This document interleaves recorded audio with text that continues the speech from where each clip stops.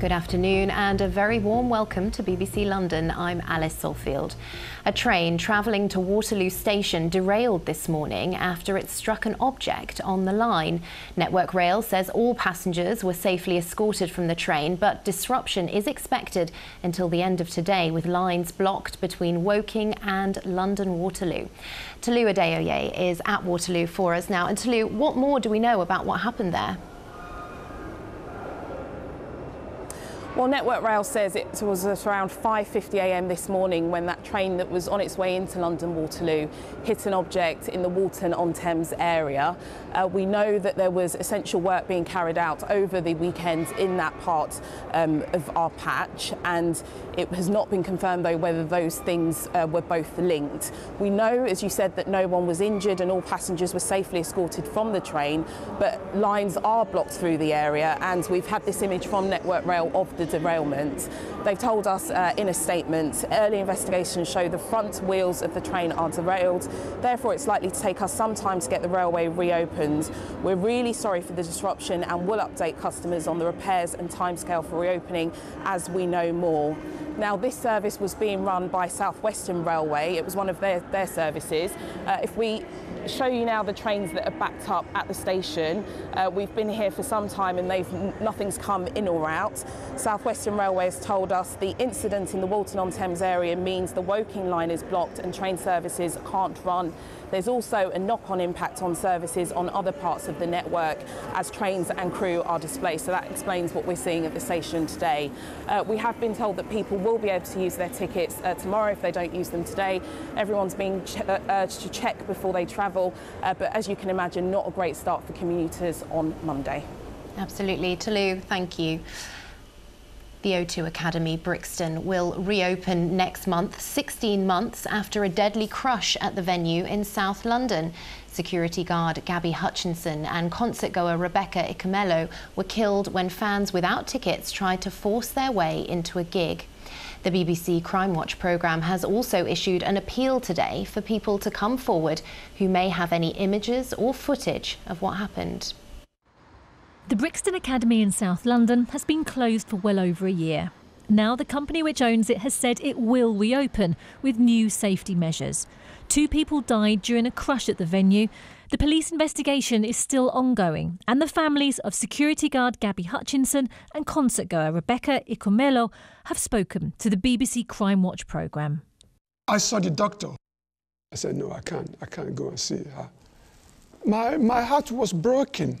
The shock was, was very, very difficult to process that time.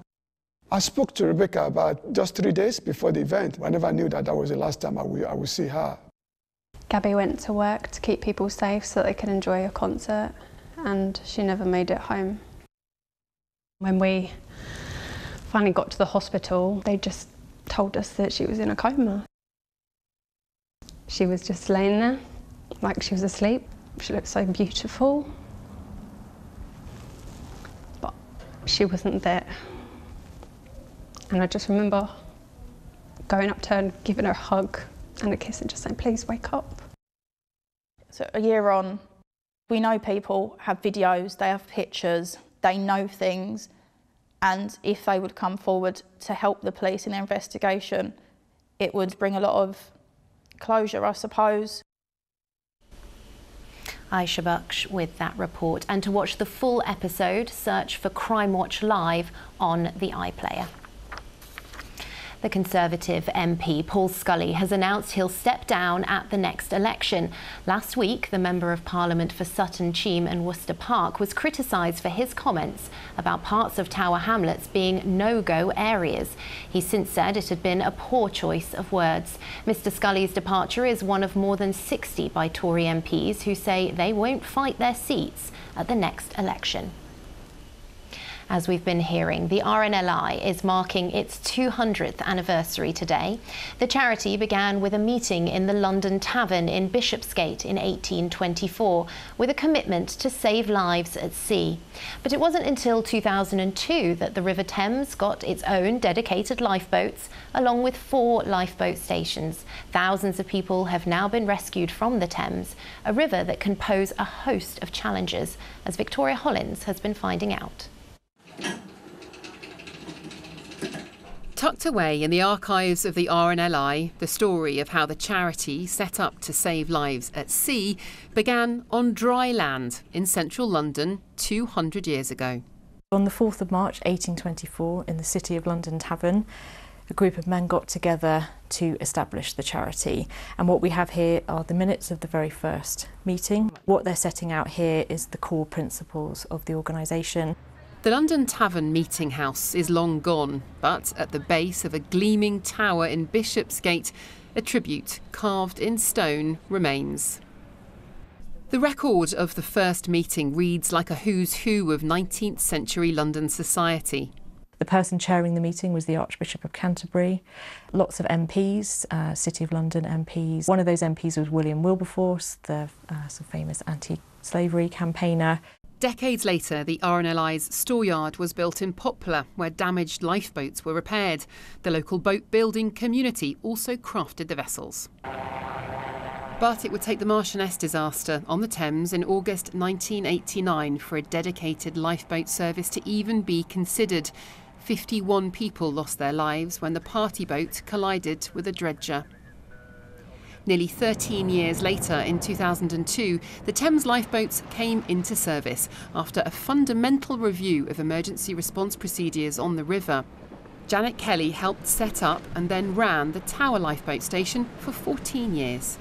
The, um, the Thames Division, which is part of the Metropolitan Police, they didn't want their Waterloo Police Pier, which is by Waterloo Bridge. The police were very, um, very generous and allowed the RNLI to buy the pier for a, a, token sum of a pound. But it was a very useful spot to have, I suppose. For us in, in the middle of London, to be where we were there was priceless.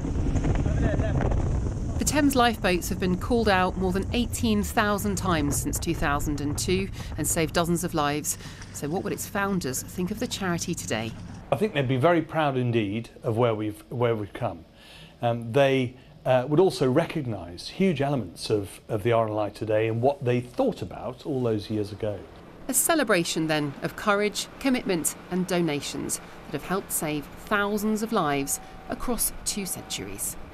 Victoria Hollins, BBC London.